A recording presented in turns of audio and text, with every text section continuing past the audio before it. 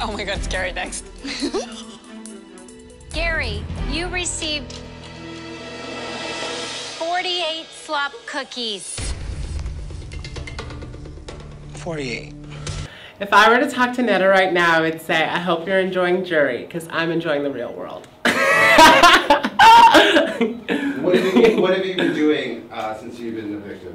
Uh, I went to FAT, which is Fashion Art Toronto, and I've just been going to events and partying and getting in touch with my family and trying to figure out what I'm going to do next because I got to get back on the tube, honey. TV is made for me.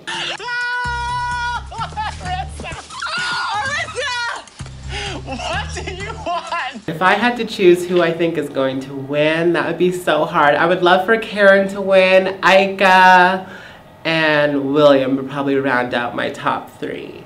Okay. I think that they're both my friends.